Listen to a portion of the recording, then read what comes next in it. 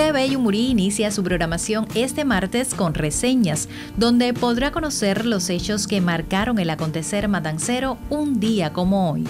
Al mediodía, la revista Aquí a las 12 dedica su espacio al premio José Jacinto Milanés.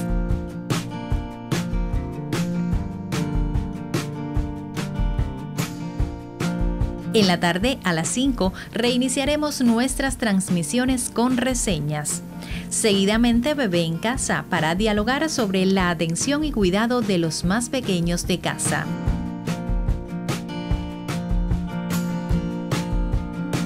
Media hora después, el noticiario Hoy para que usted conozca lo más relevante del acontecer provincial. La belleza de una flor proviene de sus raíces.